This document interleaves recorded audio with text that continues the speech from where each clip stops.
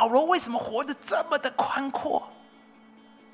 因为在他里面有一个荣耀的盼望跟应许，有了这个就胜过其他一切的所有。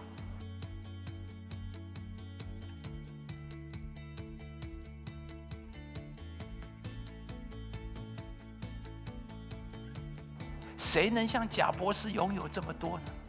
但是即使就像贾博士拥有这么多，他说什么？我曾经拥有让我感到得意的那些社会名和财富，在即将来到的死亡面前，已全部都变得暗淡无光，毫无意义。就是弟兄姊妹知道为什么？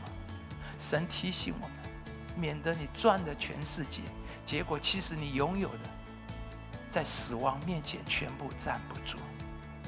有一天你再追求了你全部，可是当有一天到来，你才发现那些东西没有一个管用的，在那个面前，死亡面前全部崩溃，全部崩溃。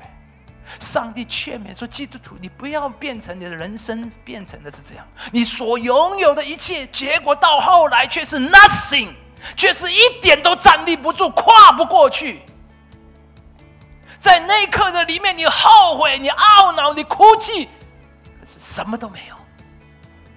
基督徒，这才是为什么保罗劝勉：不是财富不好，不是金钱不好，但是那绝对不是最重要的第一追求。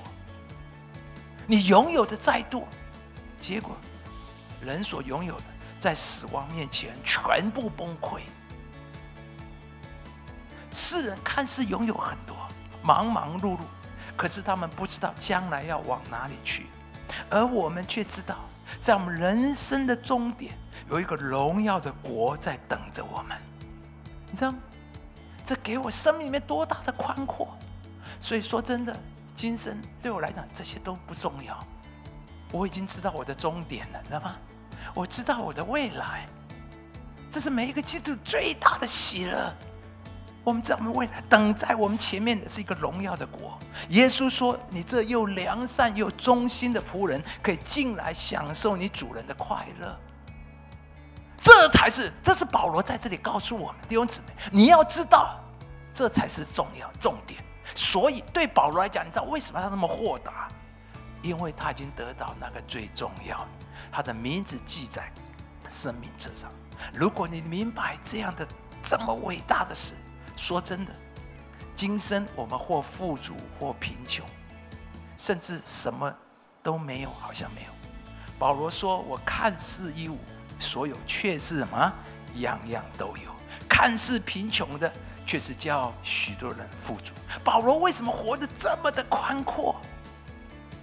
因为在他里面有一个荣耀的盼望跟应许，有了这个，就胜过其他一切的所有。